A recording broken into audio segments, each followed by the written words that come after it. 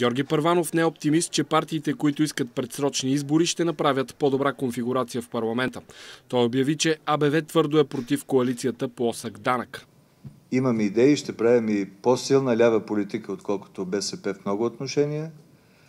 Например, ние сме сами срещу една коалиция, която мога да кажа коалиция плосък данък.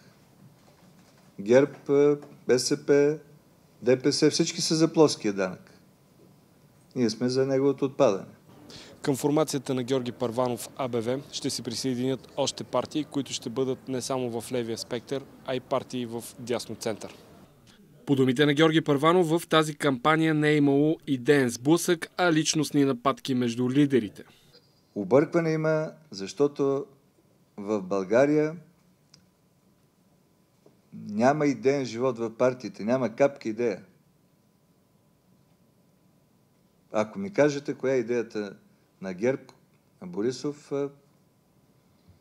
готов съм да седнем да анализираме, да разсъждаваме. И обратно. От другата страна пък има един Бареков, който затрупва с идеи, който обещава всичко на всеки. От щаба на АБВ твърдят, че са провели най-скромната кампания за разлика от изборните технологии и пиар на другите конкуренти.